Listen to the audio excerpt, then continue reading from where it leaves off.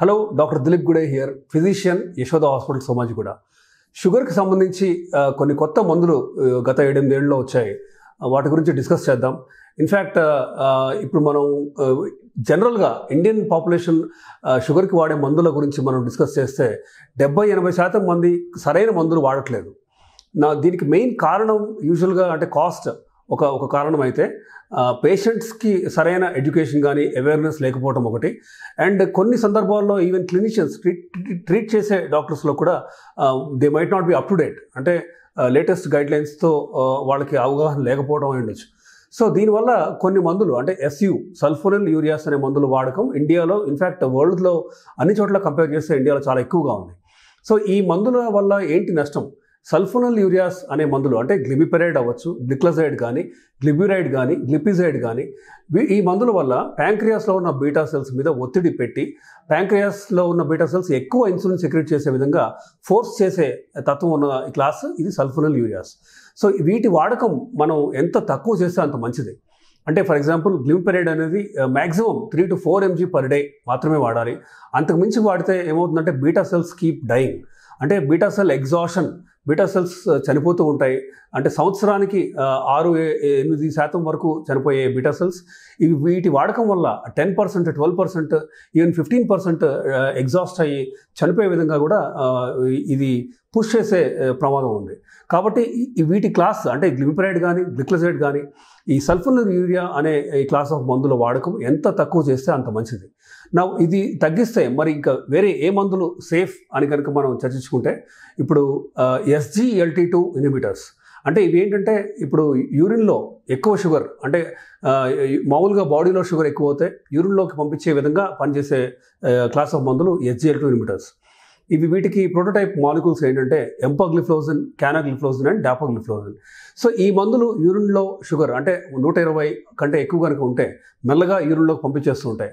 So వీటి వల్ల enormous health benefits ఉన్నాయని ప్రూవ్ అయింది అంటే కొన్ని వేల మంది మీద ర్యాండమైజ్ కంట్రోల్ ట్రయల్స్ చేస్తూ వాటి నుంచి వచ్చిన ఎవిడెన్స్తో ADA American diabetic association European union కానీ ఏఎస్డి కానీ వీళ్ళందరూ మన సొంత ఆర్ఎస్ఎస్డిఐ ఇండియాలో ఉన్న ఆర్ఎస్ఎస్డిఐ కానీ ఈ గవర్నమెంటల్ ఈ బాడీస్ అన్నీ కూడా ఏం సూచిస్తున్నాయంటే మెట్ఫార్మిన్ తర్వాత మీకు సరైన షుగర్ కంట్రోల్ లేకపోతే ఈ ఎస్జిఎల్టీ టూ క్లాస్ లిమిటర్స్ వీటిని వాడండి అని ఒక స్ట్రాంగ్ రికమెండేషన్ ఇచ్చాయి.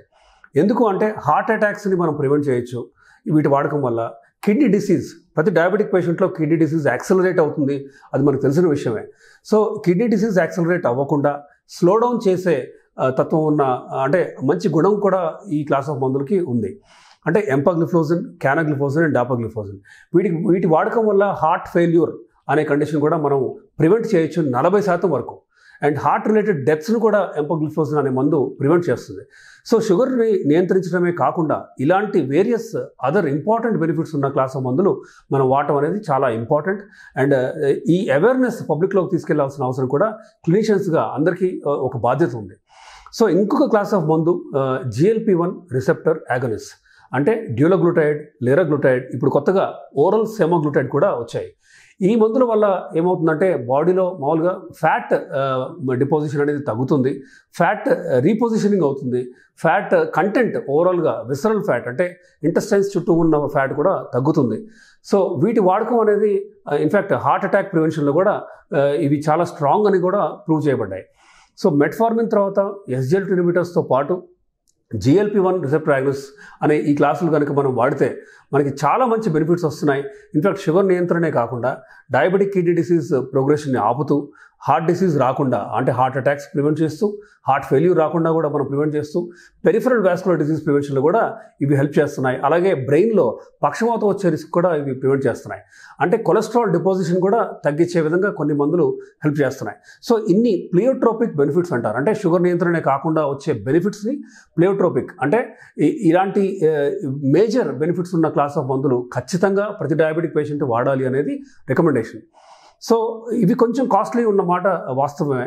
బట్ uh, త్వరలో అంటే రెండు మూడేళ్ళలో వీటి కాస్ట్ని కూడా నియంత్రించే పని గవర్నమెంట్ చేస్తుంది కాబట్టి uh, ప్రాబ్లీ ఇంకా ట్వంటీ ట్వంటీ త్రీ అవ్వచ్చు ట్వంటీ ఫోర్ అవ్వచ్చు.